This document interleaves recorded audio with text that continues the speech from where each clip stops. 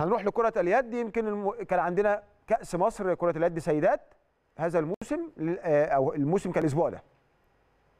للأسف لم نوفق في مباراه قبل النهائي. آه، قابلنا الطيران على التالت والرابع فزنا وفزنا بالميدالية البرونزية ونتيجة المباراة خلصت آه، 30 25 على نادي الطيران. آه، طيب آه، إيه اللي حصل في ماتش ال- ال- ال- ال semi final؟ كان مع سبورتنج خسرنا 25 24 بعد ما كنا قريبين جدا من التعادل. ويمكن ال- ال- اللي حصل الأزمة اللي حصلت كانت في الشوط الأول.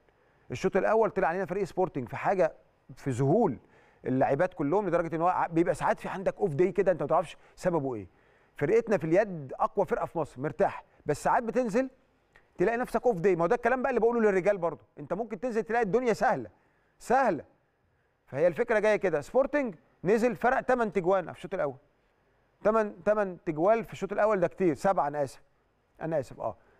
آه، آه، سبعة تجوان في الشوط الأول ده كتير. ومع ذلك النادي الأهلي عوض. يعني النادي الأهلي فايز الشوط الثاني فرق ست جوان فريق سبورتنج سبعة في الشوط الأول. اذا كان كنا نقدر برضو نتعادل. ولكن كان سبورتنج تشبث بال game. ولكن hard luck إن شاء الله اللي جاي. طبعا مبروك على المركز الميدالية البرونزية. إن شاء الله اللي جاي أفضل عندنا لسه بطولة السوبر. إحنا بطولة السوبر بقى ميزتها إيه مش مش ماتشات كؤوس.